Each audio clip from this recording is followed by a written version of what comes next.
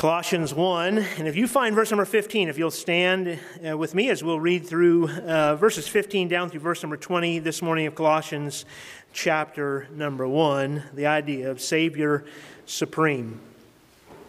Paul is writing, he's speaking about the Lord Jesus Christ, and he says in verse number 15, Who is the image of the invisible God, the firstborn of every creature? For by him were all things created that are in heaven and that are in earth visible and invisible, whether they be thrones or dominions or principalities or powers. All things were created by him. And here's the part where we struggle and for him. So, verse number 17. And he is before all things, and by him all things consist. And he is the head of the body, the church who is the beginning, the firstborn from the dead, that in all things he might have the preeminence. For it pleased the Father that in him, that's in Christ, should all fullness dwell. And having made peace through the blood of his cross, by him to reconcile all things unto himself, by him I say, whether they be things in earth or things in heaven. Let's ask the Lord for his help. Lord, thank you for being ultimately and ever supreme. Forgive us for where we, um, in our own life, to, to use the phrase to dethrone you, I think is, is as best maybe we can do. Certainly, you're, you're king and reign forever and ever. But Lord, in our life, we don't follow you as best we should because we can very easily lose sight of the fact that you are to be supreme in our life. So help us as we enter into this new year. May we ask ourselves and honestly evaluate. May we ask that the Holy Spirit would go, as the psalmist and as the, the, the book of Proverbs talks about, that candle that goes through our innermost being and, and revealing things that need to be changed or swept away or done away with. And Lord, we'll be very grateful. Would you please be preeminent, be, be supreme in our life, because it will change how we live. And if there is someone here today that's never trusted Christ, may they take this last Sunday of 2018, Lord, no better day to do it than today. May they trust Christ as their personal Savior, have their sins forgiven, and a home given to them by, by your grace and your love. We ask it in Jesus' name. Amen. Thank you for standing. You may be seated. It is interesting to know the background of uh, certain biblical books and to, to know uh, what was going on, what was kind of the makeup of the, the audience or the crowd, so to speak. I think that helps in the context of the passage to, to be able to understand and, and to properly interpret the passage. And the, the city of Colossae, where Paul writes uh, this letter to the Colossian uh, Christians, because of where it was located, it was it was susceptible to all kinds of new ideas and an influx of new teaching and philosophies and religious beliefs that had come from both the western part of the world and the east. Uh, Colossae sat is, kind of a crossroads, if you will, or where two roads met at the same place. And so you've got uh, ideas and philosophies and worldviews coming from the eastern part of the world, and it's. Uh, going to the western part, uh, if you will, and, and those in the west are going to the east. And, and as we, let me turn this mic on, how about that? That'll help. As we uh, come to Colossae, then those ideas and those uh, mindsets, those uh, worldviews are coming into one place. And what it was doing was it was beginning to affect the Christian worldview or the Christian philosophy in this city of Colossae.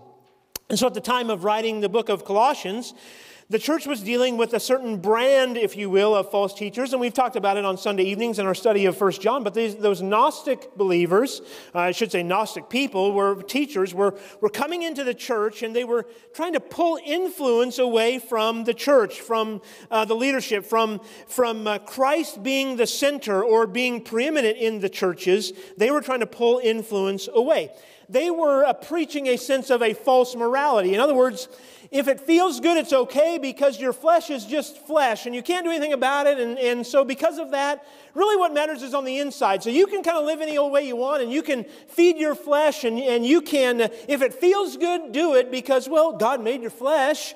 And, uh, you know, what really matters is what God has already done on the inside. Well, that's that's nothing what the Bible says. It's not Bible preaching, it's not Bible teaching, it's not scripture in any form or any imagination. But I think as we, we think about the, the idea of different philosophies and mindsets and worldviews, I think it's easy for us who, who are Christian people to get into, and again, because it's the new year and we're thinking about uh, maybe some resolutions or some goals, and we talked a little bit about that in the Sunday school hour, but we can get into a routine in living our Christian life. We just, we go Sunday to Sunday to Sunday to Sunday, and we, we are in danger of thinking, well, if I, if I do certain things, then um, people will like me or respect me.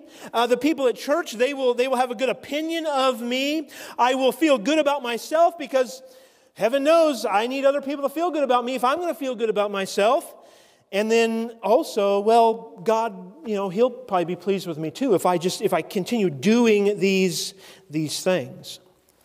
Well, what Paul is telling this church at Colossae and these, these Colossian Christians is he's saying it was his duty given to him by Almighty God to preach and to elevate the Lord Jesus Christ. He understood, he knew the importance of being Christ like in his own life. And he knew what, what that uh, meant. He knew the victory that it meant in his own life. He, he knew and understood the power that he had experienced. And, and as he had watched God work in his own life. And so, what he wants these people at Colossae to understand is okay, you're getting all these other influences and all these other worldviews and all these other opinions. But understand, you put all that aside because that's never going to sustain you. Those things are, are, endless and vain philosophies, but will, what will help you is putting Christ as preeminent in your life. You elevate Christ, you, you live your life for Him.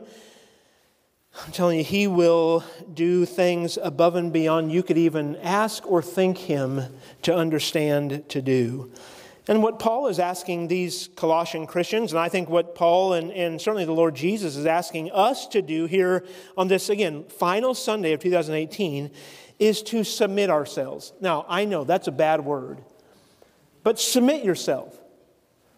Not to any old thing, not to the next uh, uh, revelation that comes down the pipe, so to speak, but you need to submit yourself to the supremacy of Christ in your life. Now, this is not new preaching. this is, I mean, it's, it's centuries old. But the problem is, we don't do it. We're not doing it. We submit ourselves to all kinds of other things, and we're comfortable when it's other things, but we're not as comfortable when it's, it's us. So, Paul gives them some instruction here about how they can submit themselves, and he begins, number one, by saying that the first step, if you will, is to reorder the priorities of your life. Re- reorder those priorities of life. Now, look at verse 15 again, Colossians chapter number 1. Speaking of Christ, who is the image of the invisible God, the firstborn of every creature. For by him were all things created that are in heaven and that are in earth, visible and invisible, whether they be thrones or dominions or principalities or powers.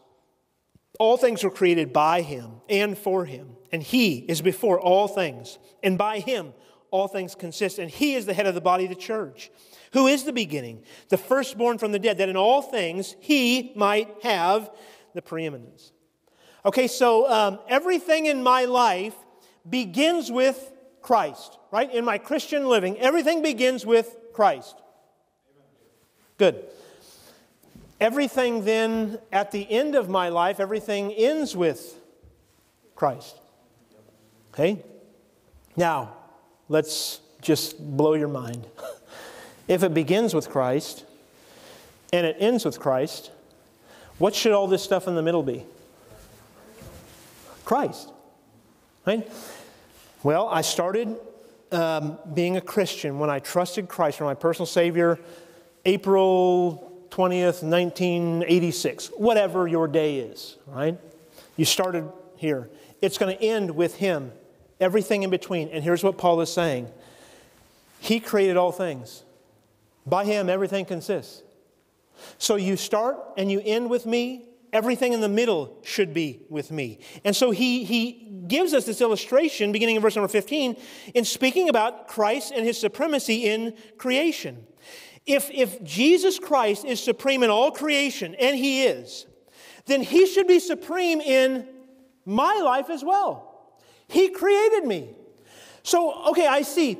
I go to the Grand Canyon, I say, man, eh, look at uh, the beauty that God has made. And I, I step out my, my, my back door and I take a picture of the sunrise or the sunset and I say, boy, God sure brought out his paintbrush tonight. And I, I think of all these things where God is great in creation, but I don't apply that to my own life necessarily. God is great in what He has done in my life, not because I'm something special in and of myself, but because He has made me to be something special because of what He's done in me. I am made to be a child of the King. I'm a child of God because of what he's done in my life. As many as received him, to them gave he power to become the sons of God, even to them that believe on his name.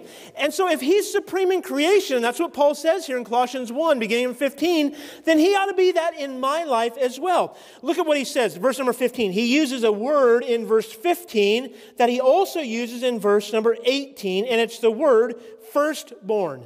Now, when Paul uses the word firstborn in verses 15 and 18, it doesn't, it's not, he's not referencing time like you and I think about it, right?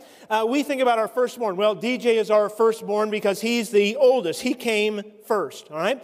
What Paul is, is using that term to mean is a, a position of place or status. Jesus was not the first being created. If Jesus is created, he is no longer God.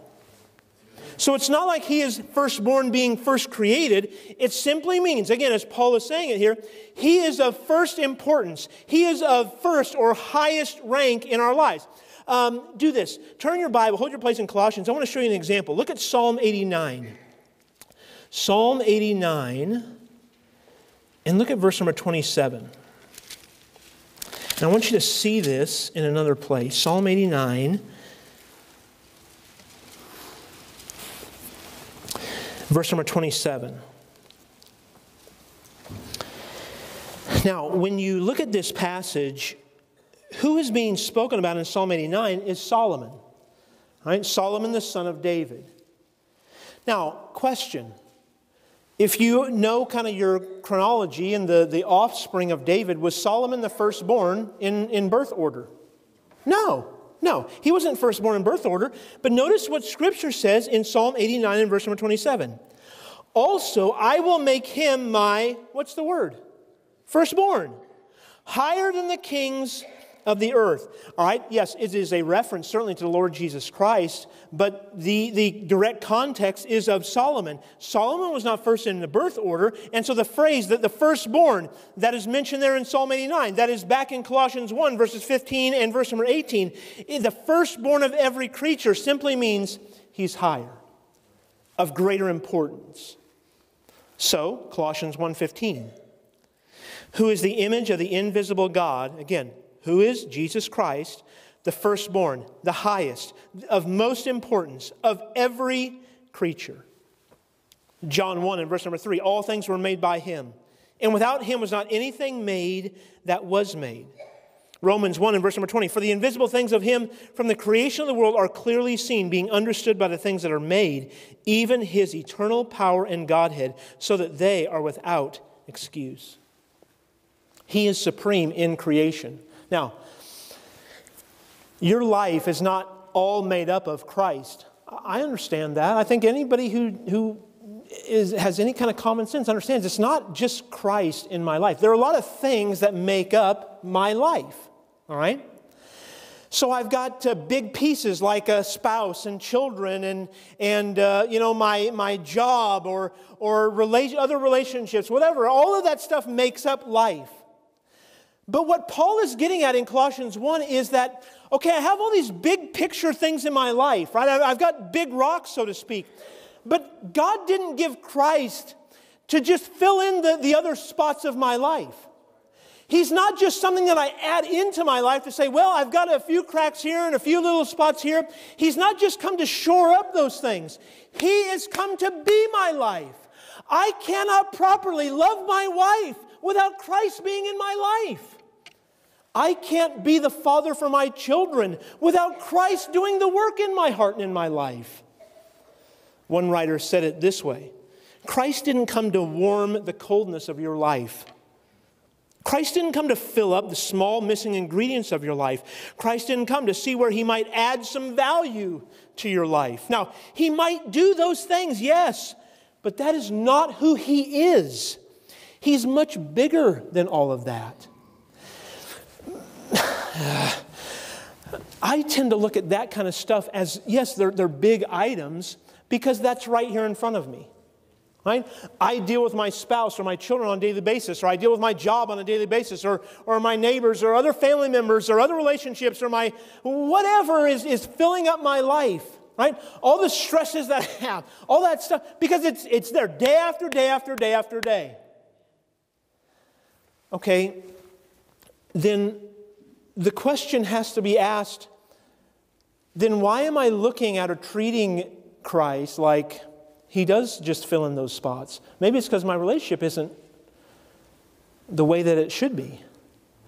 Maybe I'm not seeing those, those big things as being from him or being him using those things in my life. See, those things are small in comparison to how Christ is supposed to be in my life. But I make those things to be big. And so I can um, be guilty of using my family to use it as an excuse to not be obedient to Christ. Oh, we got real quiet. I can use job or um, let's just be real general, like most people tend to be. I can use my responsibilities as an excuse to not be obedient, to follow what Christ would have me to do because I'm just, I'm fitting him into my life. And I'm telling you, we need to get tired of doing that. Just get tired of it. So I'm, I am not doing, I'm not living the Christian life I should be. And I just be honest with you? I, I don't know that I could get it to two hands if I counted the number of people that I've met personally that I, I really got the sense they were living the Christian life they should be. And I'm not saying that to, to downgrade anybody, I'm just saying we're all in the same boat.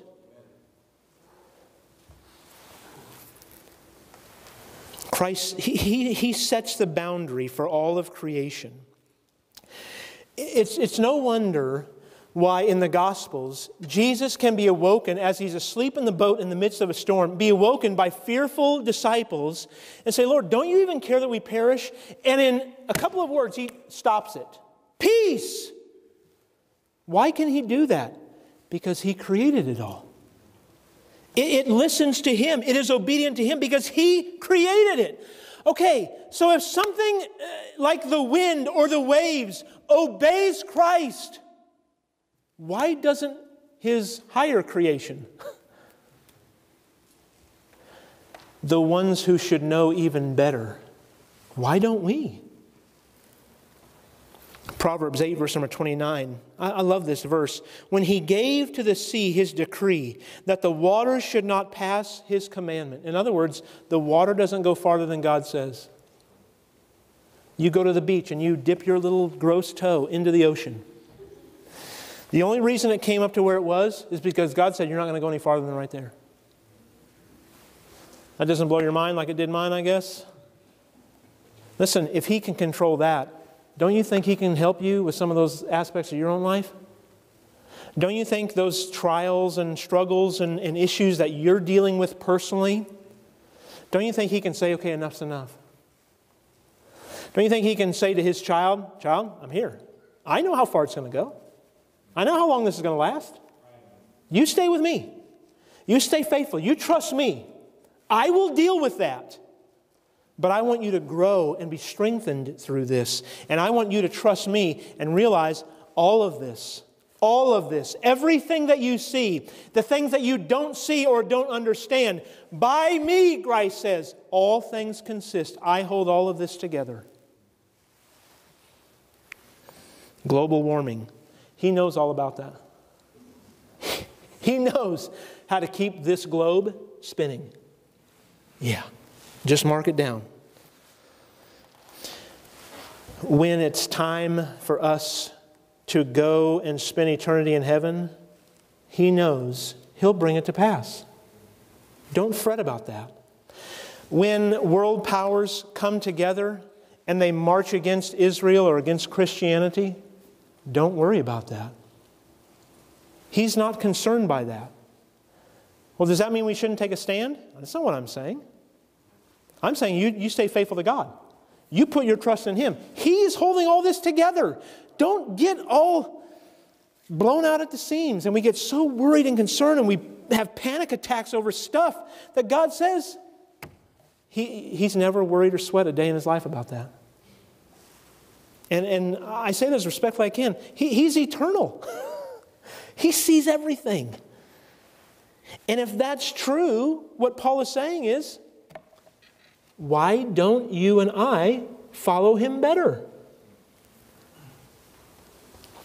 Verse 17 He is before all things, by him all things consist.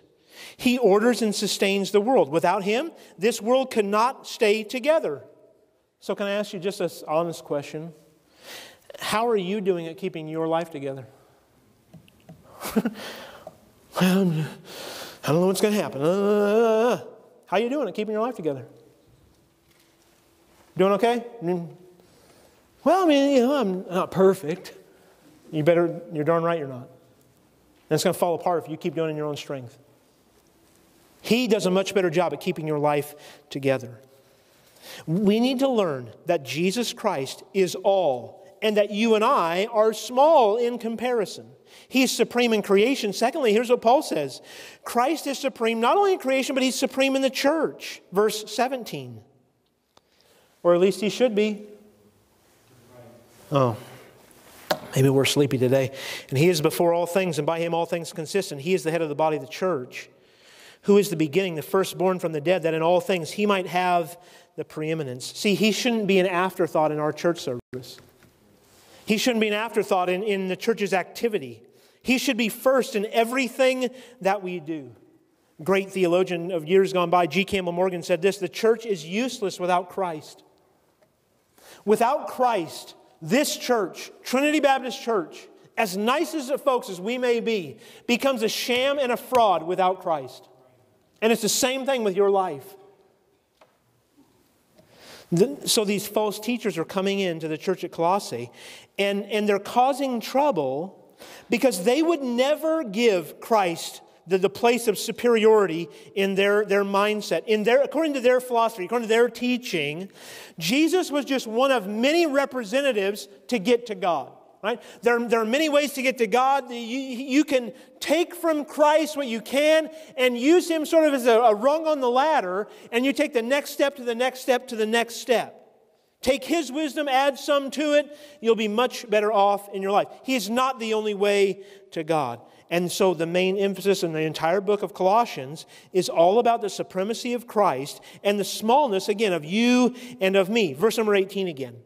He is the head of the body, the church, who is the beginning, the firstborn from the dead. Notice that in all things he might have the preeminence.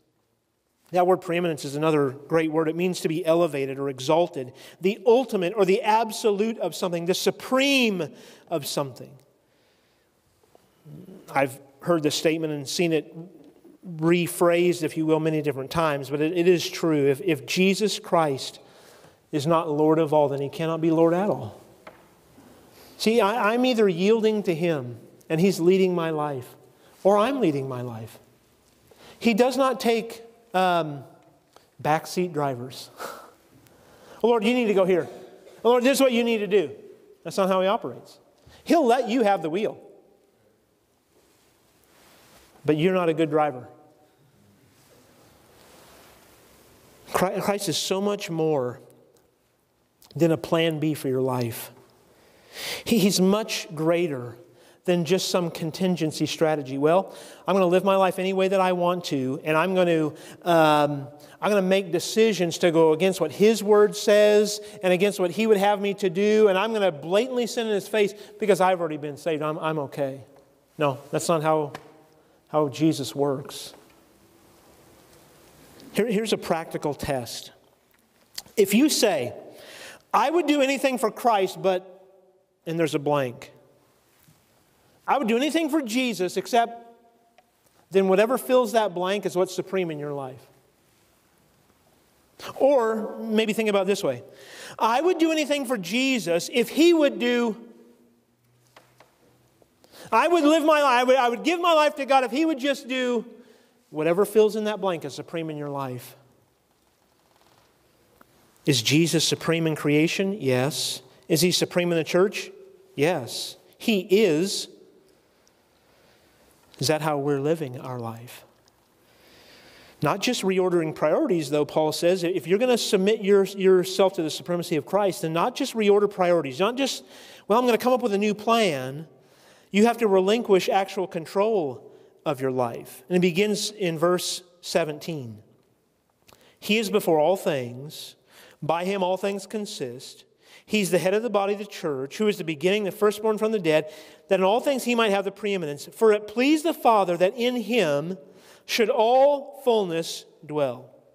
That phrase, all fullness, is very similar. It means to be complete or, or filled to abundance.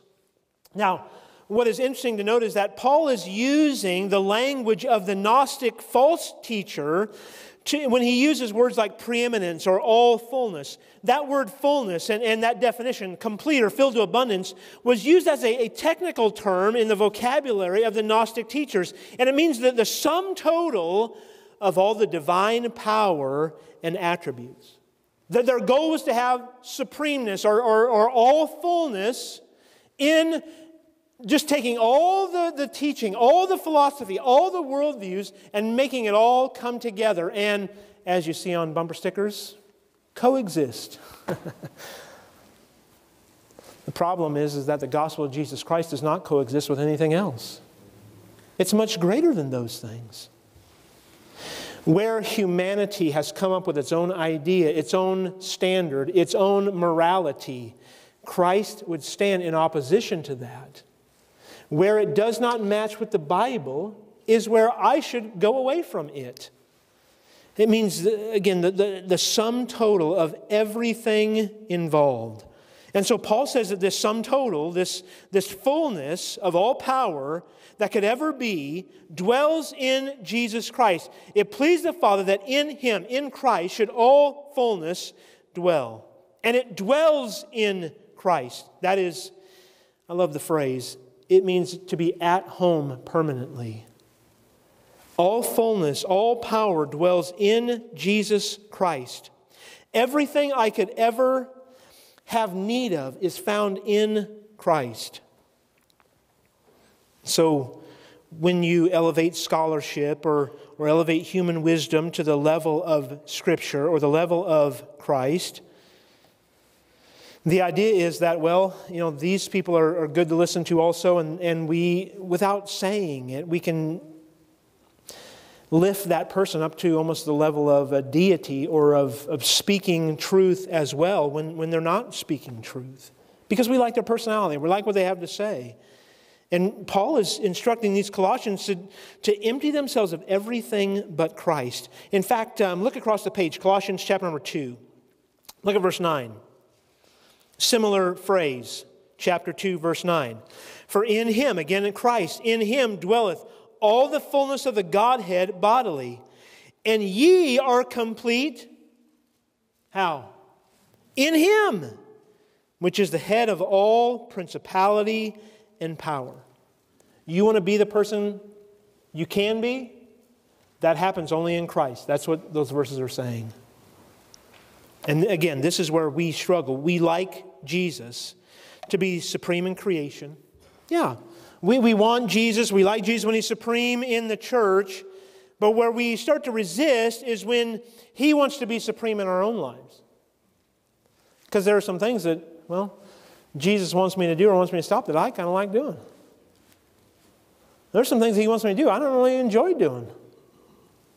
And so, I, you know, I, I think Jesus wants me to be happy, and God, you know, He has my, my best interest at heart. And so, you know, if I do this, really, I can just, you know, say that I'm sorry anyway, and He'll forgive.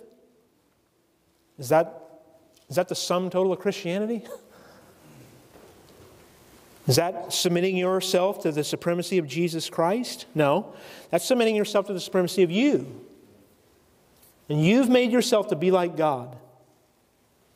You, you struggle because you don't get to do the things that you think you deserve to do. And there's part of the problem is we have pride. And I'm telling you, it's all over us. Christ is the complete revelation of God. He, Hebrews 1 and verse number 3 who being the brightness of his glory and the express image of his person, and upholding all things by the word of his power, when he had by himself purged our sins, sat down at the right hand of the majesty on high. That word image that, that the writer used in Hebrews 1 and verse number 3 literally means an exact representation or revelation. Look at again, verse 15 of Colossians 1. Who is the image, there's that word again, of the invisible God the firstborn of every creature, an exact representation and revelation. The Word was made flesh and dwelt among us.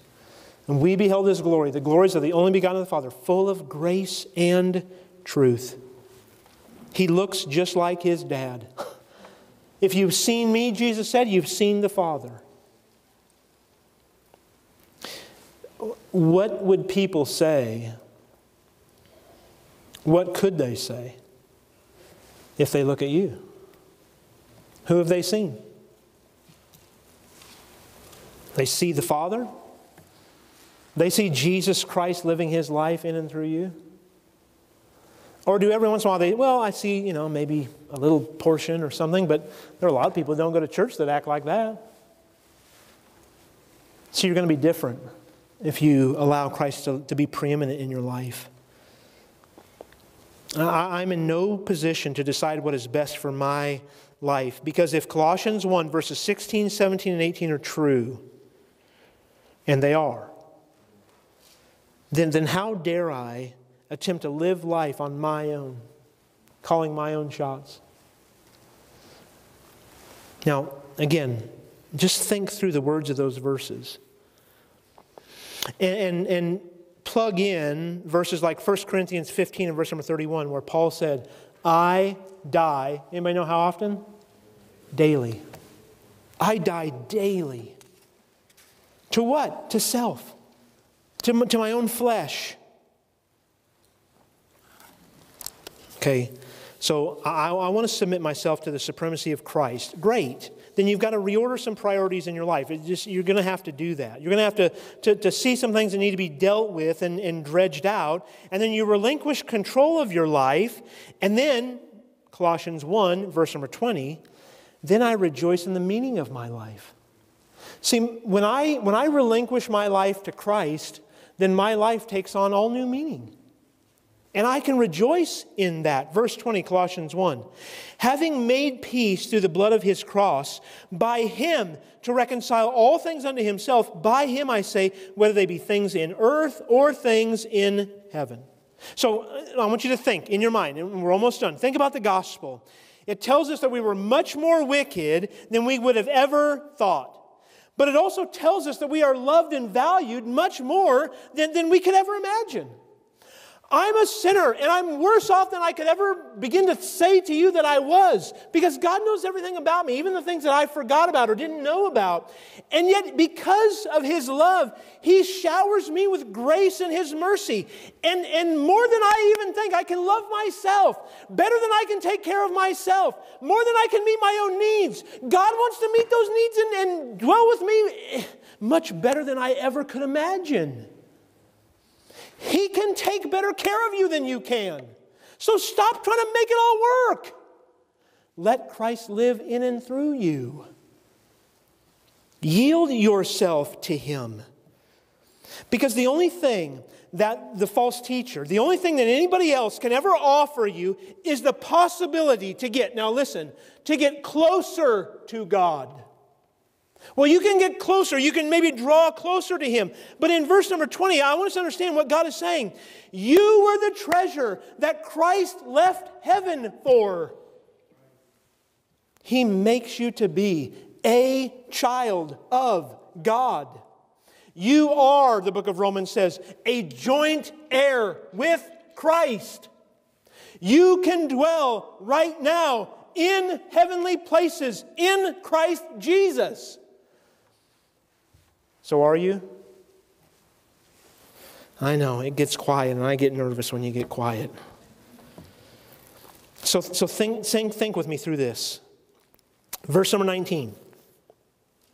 It pleased the Father. And remember Isaiah 53 and verse number 10. Remember what that prophecy says. Yet it pleased the Lord to bruise him. He hath put him to grief. Who are we talking about in Isaiah 53? Jesus Christ. The Bible says it pleased the Father to bruise the Son. It, pleased God to put his Son to grief. Why? Because he loves you, because he cares for you. And so, Colossians 1, it pleased the Father because of what the Son did for every believer. It pleased the Father then that in him, in Christ, should all fullness dwell. Verse 20 to reconcile. I, I love that phrase. By him, by Christ, to, to reconcile, to restore to fellowship or friendship, to bring harmony back, to reconcile all things. Why did all this take place? To bring into harmony all things. For who? For you? No, for God. Wow. Wow, what an amazing, amazing thought. We read Hebrews 12 in the, the Sunday school hour. Let me just read again verse number 2. Looking unto Jesus, the author and finisher of our faith, who for the joy that was set before him endured the cross, despising the shame, and is set down at the right hand of the throne of God. Okay, so according to that verse, what was it that enabled Christ to endure all the hardness of the cross and the events leading up to it and the pain and the suffering? What was it that enabled him to endure all of that? Well, Hebrews 12:1 says for the joy. It was joy that enabled Jesus to endure every hardness. So, I got another question. Does joy help you to endure hardness? Hmm. We're not so good at that, are we? Does the joy of knowing that whatever I go through, God might and does desire to get glory out of it in my life. D- does that drive me? Does that help me to endure hardness? Or do I just put on a happy face because we're good at doing that? Do I just hide and say, Lord, I, I, if you just take this away, who, for the joy that was set before him, endured the cross, despising the shame. How many things, according to this verse, how many things did Christ reconcile to himself in verse number 20? How many things? All things, right? All things. He won everything. He succeeded in his plan. You know what that means for you and me? It's okay when I fail because I'm God's treasure. Not when I go into it and do it willingly, He doesn't want me to do that. But when I'm, I'm, I'm serving and helping and, and trying to live the life God wants me to, and, and, and I get distracted and I get turned aside, and, and maybe a besetting sin comes about, it's okay because I'm still His child. He doesn't just cast me off to the side. Why? Because He reconciles me back to Himself time after time after time because He loves me and wants relationship with me. Shouldn't that motivate me to live more for Him? I don't want to disappoint Him. I want to live my life for Him. I don't just want to walk the edge and say, well, I'm going to get as close to sin as I possibly can because I really want to enjoy life too. As if living for Christ is such drudgery that I have to interject bits of sin or, pleasure into my life to just make it bearable. That is not the life God wants you to live. My self worth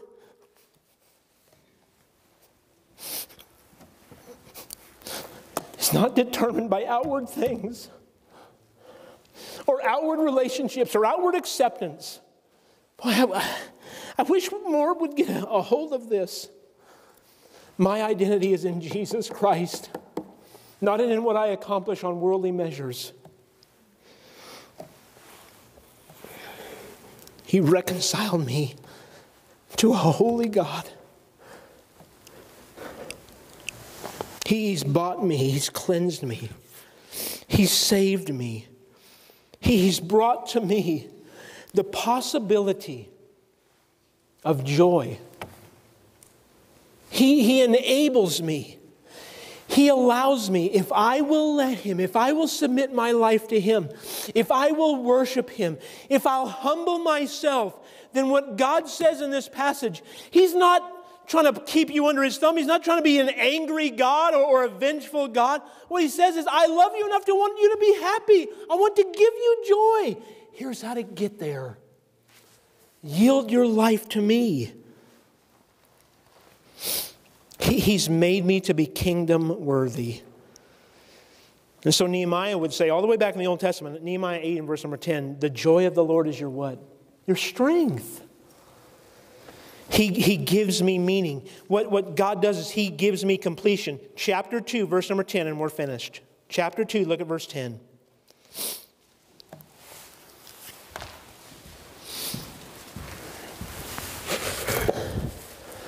Got a highlighter ready or a pen or something to mark that with? Ye are complete in Him. Well, I'm just not complete without my kids. Baloney. You can love your kids and still understand you're complete in Christ. And by the way, you should. Young people, you're complete in Christ. Not in a boyfriend or a girlfriend. You're complete in Christ. Spouse doesn't make you complete, single person. Christ makes you complete. Married person, your spouse doesn't make you complete. I don't care what somebody in some movie line says. You're complete in Christ. Yeah. And so, where does victory over sin come? Well, victor, victory over sin comes when I'm dissatisfied with the sin I previously wanted to commit and I gain satisfaction in Jesus Christ, Him living His life in me. But all too often, I'm more satisfied with the sin than I am with Jesus. And you're just like me. But verse number 19 it pleased the Father, it pleases the Father when I understand I need to reorder priorities in my life. I relinquish control of my life to Him and then I rejoice in the meaning of my life in Christ and not in what I've done or what I can do. So grateful for He being supreme. Is that the life you live? Can be. You mean I can experience joy? Unspeakable, full of glory. If you'll just just relinquish some stuff. Just yield your life to Him.